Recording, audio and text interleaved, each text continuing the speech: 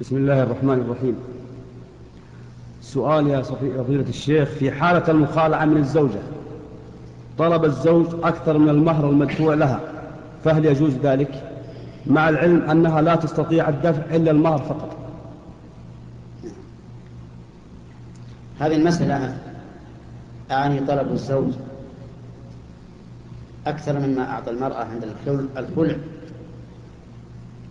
أجازها بعض العلماء.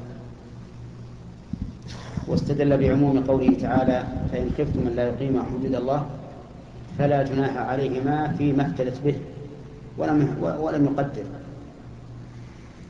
وبعض العلماء يقول لا يجوز أن يأخذ أكثر مما أعطاها.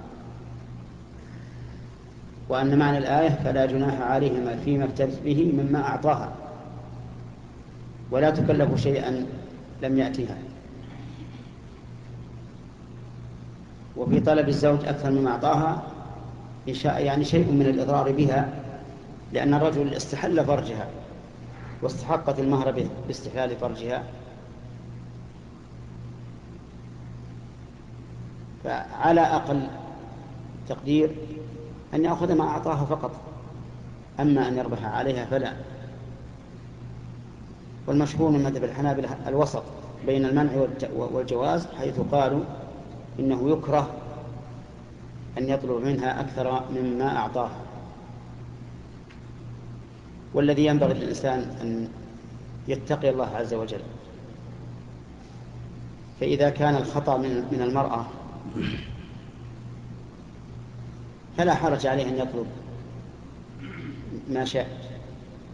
وأما إذا كان التقصير منه وأن المرأة سائمة البقاء معه لتقصيره فليخفف ويكتفي بما تيسر.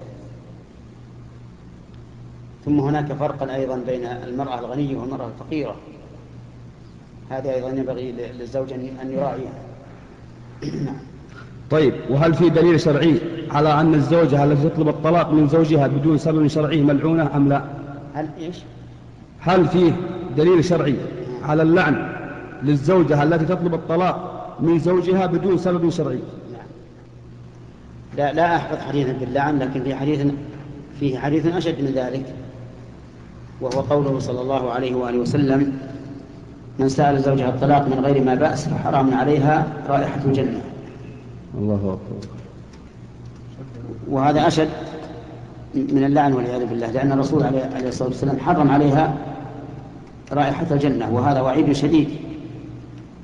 فالواجب على المرأة أن تتقي الله في نفسها وفي وفي بعلها وأن لا تطلب منه الطلاق إلا لسبب شرعي.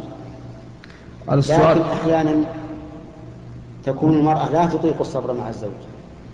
كرهة له كما في زوجة ثابت بن قيس بن شماس حين جاءت إلى النبي صلى الله عليه وآله وسلم وقالت يا رسول الله ثابت بن قيس ما أعيب عليه في خلق ولا دين ولكني أكره الكفر في الإسلام.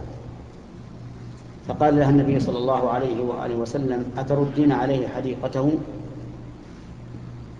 قالت نعم.